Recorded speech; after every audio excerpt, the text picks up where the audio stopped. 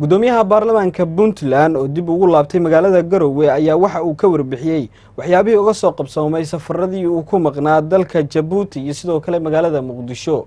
Waxaa warbixinta warkaasi magaalada garowe ka soo diray faarax maxamed khaliif yemani wafdigan uu hogaaminayay gudoomiyaha baarlamaanka puntland cabdixakiin maxamed axmed oo safar shaqo ku joogay magaalooyinka jabuuti iyo muqdisho ayaa maanta caasimada puntland ee garowe dib ugu soo laabtay waxaana soo dhoweyntooda ka qayb qaatay qaar ka mid a xildhibaanada baarlamaanka puntland iyo howlwadeenada golaha iyadoona saxaafadda ay kula hadleen howlka nasashada ee garoonka diyaaradaha ee magaalada garowe cabdicasiis cabdulaahi cismaan gudoomiye ku-xigeenka koowaad ee golaha wakiilada puntland ayaa soo dhoweeyey gudoomiyaha weyn noo ah.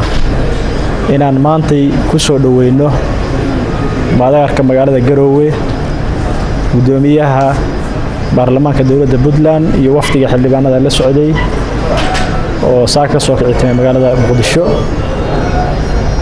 Mudane gudoomiye hadal badan halkan noogama furna. Waxayd keliya inaannu muujinno inaannu adiga iyo waftiga kula socday idin soo dhoweyno aniga iyo xildhibaanada iyo shaqaalaha howlwadeennada halkan fadhiya soo dhowaada adiga iyo wafdigii xildhibaanada kula socday aad iyo aad ayaan ugu mahad celinaya saxaafadda iyo xildhibaanada iyo shaqaalaha iyo howlwadeennada baarlamaanka oo sida weyn oo sharafta leh noogala soo qaybgala maanta halkan gudoomiyaha golaha wakiilada puntland cabdixakiin maxamed axmed ayaa ka warbixiyey safaradii shaqo ee uu ku maqnaa.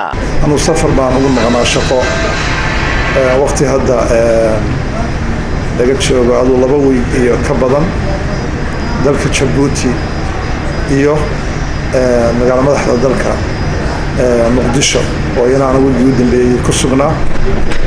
Meelahaas waxaan u tegey ama aan safarkaygu ahaa safar shaqo unbuu ahaa.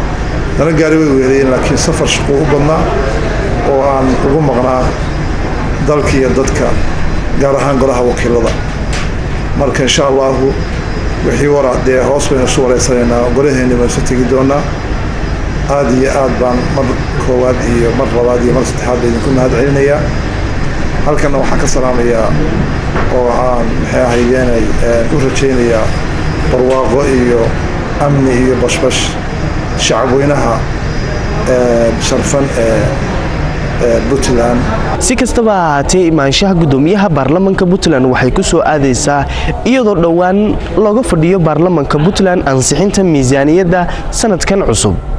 Faarax maxamed khaliif faarax yemani wararka warbaahinta s b c garowe